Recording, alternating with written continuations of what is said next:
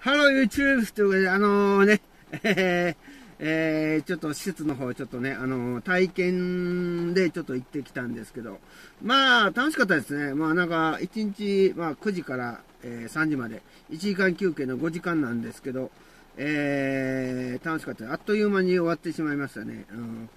ね、すごくね、環境が良くて、まあね、うん。本当にみんな、あの、他の方も楽しそうにね、えー、笑い声が聞こえるような、とてもね、えー、素晴らしい、えー、施設だと思います。うん。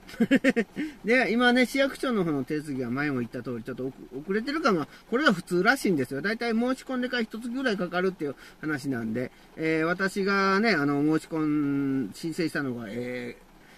ー、6月の末頃やったんで、ね、うん。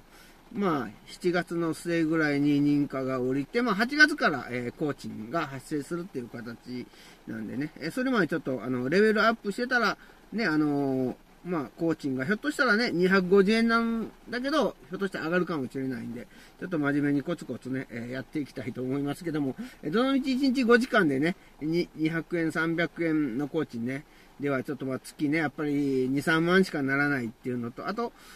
あれですね、あのー、まあ自分去年ほとんど仕事がなくて働いてなかったんで、えー、市民税とかが、あの、ないんで、あの、払ってないんで、市民税が、あの、ない場合はね、その、施設使用料っていうのが、えー、